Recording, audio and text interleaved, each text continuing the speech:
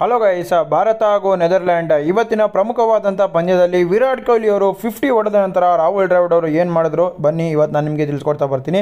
ಭಾರತ ಹಾಗೂ ನೆದರ್ಲ್ಯಾಂಡ್ ನಮ್ಮ team India ಇವತ್ತು ಹೊಸ ದಾಖಲೆ ಬರೆಯೋಕ್ಕೆ ರೆಡಿಯಾಗಿರುತ್ತದೆ ಅಂತ ಹೇಳ್ಬೋದು. ಯಾಕಪ್ಪ ಅಂದರೆ ನಮ್ಮ ಟೀಮ್ ಇಂಡಿಯಾ ಇವತ್ತು ಒನ್ ಸೆವೆಂಟಿ ನೈನ್ ರನ್ಸ್ಗಳನ್ನು ಬಾರಿಸಿದ್ದಾರೆ. ಯಾಕಪ್ಪ, ರೋಹಿತ್ ಶರ್ಮಾ ಸೂಪರ್ ಬ್ಯಾಟಿಂಗ್ ಸೂರ್ಯಕುಮಾರ್ ಅಥವಾ ಬೆಂಕಿ ಬ್ಯಾಟಿಂಗ್ ವಿರಾಟ್ ಕೊಹ್ಲಿ ಭರ್ಜರಿ ಬ್ಯಾಟಿಂಗ್ ಅಂತ ಹೇಳ್ಬೋದು. ಮತ್ತೊಮ್ಮೆ ತೋರಿಸಿದ್ದಾರೆ ವಿರಾಟ್ ಕೊಹ್ಲಿ ಅವರು ಯಾಕೆ ನಾನೇ ವರ್ಲ್ಡ್ ನಂಬರ್ ಒನ್ ಪ್ಲೇಯರ್ ಅಂತ. ಇದೀಗ ವಿರಾಟ್ ಕೊಹ್ಲಿ ಅವರು ಶತಕ ಇವತ್ತು ಹೊಡಿಬೇಕಾಗಿತ್ತು. ಆದರೆ ಶತಕ ಬಂದಿಲ್ಲ. ಅರವತ್ತೆರಡು ರನ್ಗಳನ್ನು ಬಂತು.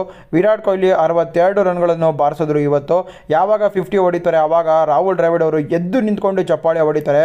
ಫೈನಲಿ ನಮ್ಮ ವಿರಾಟ್ ಕೊಹ್ಲಿ ಫಾರ್ಮಿಗೆ ಬಂದಿದ್ದಾರೆ. ಬ್ಯಾಕ್ ಟು ಬ್ಯಾಕ್ ಫಿಫ್ಟಿನ ಹೊಡೆದಿದ್ದಾರೆ. ಪಾಕಿಸ್ತಾನ ವಿರುದ್ಧ ಮ್ಯಾಚ್ ವಿನ್ನಿಂಗ್ ಇನ್ನಿಂಗ್ಸ್ ಆಡಿದರೆ ನೆದರ್ಲ್ಯಾಂಡ್ ವಿರುದ್ಧ ಕೂಡ ಮ್ಯಾಚ್ ವಿನ್ನಿಂಗ್ಸ್ ಇನ್ನಿಂಗ್ಸ್ ಆಡಿದ್ರು ಅಂತ ಹೇಳ್ಬೋದು. ರೋಹಿತ್ ಶರ್ಮಾ ಅವರು ಮೂವತ್ತೊಂಬತ್ತು ಬಾಲ್ಗೆ ಐವತ್ತ್ಮೂರು ರನ್ ಅಷ್ಟೇ ಹೊಡೆದಿದ್ದು. ಆದರೆ ಅವರಿಗೆ ಜೀವದಾನ ಕೂಡ ಸಿಕ್ತು. ಇವತ್ತಿನ ಪಂದ್ಯದಲ್ಲಿ ಸೂರ್ಯಕುಮಾರ್ ಯಾದವ್ ಕೂಡ ಸಕ್ಕತ್ತಾಗಿ ಬ್ಯಾಟಿಂಗ್ ಆಡಿದ್ದಾರೆ. ಸೂರ್ಯಕುಮಾರ್ ಯಾದವ್ ಅವರು ಇವತ್ತು ಪಾಯಿಂಟ್ಸ್ ಫ್ಯಾಂಟಸಿ ಪಾಯಿಂಟ್ಸಲ್ಲಿ ಸೂರ್ಯಕುಮಾರ್ ಯಾದವ್ ಅವರು ಸೆವೆಂಟಿ ಏಯ್ಟ್ ಫ್ಯಾಂಟಸಿ ಪಾಯಿಂಟ್ಸ್ ತೊಗೊಂಡಿದ್ದಾರೆ ವಿರಾಟ್ ಕೊಹ್ಲಿ ಅವರು ಏಯ್ಟಿ ತ್ರೀ ಫ್ಯಾಂಟಸಿ ಪಾಯಿಂಟ್ಸನ್ನು ತೊಗೊಂಡಿದ್ದಾರೆ. ಇವತ್ತು ನಮ್ಮ ಟೀಮ್ ಇಂಡಿಯಾ ಆರಾಮಾಗಿ ವಿಕ್ಟ್ರಿಯನ್ನು ತೊಗೊಂಬಂದೇ ಬರುತ್ತೆ ನೆದರ್ಲ್ಯಾಂಡ್ ವಿರುದ್ಧ. ಆಗಲೇ ಹದಿನಾಲ್ಕು ಓವರ್ ಕಂಪ್ಲೀಟ್ ಆಗಿದೆ. Seventy three for five wickets ಕೂಡ ಆಗಿದೆ. ಚೆನ್ನಾಗೇ ಬೌಲಿಂಗ್ ಮಾಡಿದ್ದು ಅಕ್ಷರ್ ಪಟೇಲ್ ಇದೀಗ. ಪಂದ್ಯ ಮುಗಿದ ನಂತರ ಎಲ್ಲದ ಸಾರಾಂಶ ಕೂಡ ಕೊಡ್ತೀನಿ. ಜೊತೆಗೆ ಅನಾಲಿಸಿಸ್ ಕೂಡ ಮಾಡ್ತೀರಿ. ಏನೇನೆಲ್ಲ ಆಯಿತು ಇವತ್ತಿನ ಪಂದ್ಯದಲ್ಲಿ ಅಂತ. ವಿರಾಟ್ ಕೊಹ್ಲಿ ಅವರ ಬ್ಯಾಟಿಂಗ್ ಒಬ್ಬರ ಮತ್ತೊಮ್ಮೆ ಕಂಟಿನ್ಯೂ ಆಗಿದೆ. ನೆಕ್ಸ್ಟ್ ಮ್ಯಾಚ್ ಸೌತ್ ಆಫ್ರಿಕಾ ವಿರುದ್ಧ ಮತ್ತೊಂದು ಅರ್ಧ ಶತಕ ಬಂದರೆ ಭರ್ಜರಿ ಆಗಿರುತ್ತೆ ವಿಡಿಯೋ ಇಷ್ಟ ಆದರೆ ಲೈಕ್ ಮಾಡಿ ಅಥವಾ ಸಬ್ಸ್ಕ್ರೈಬ್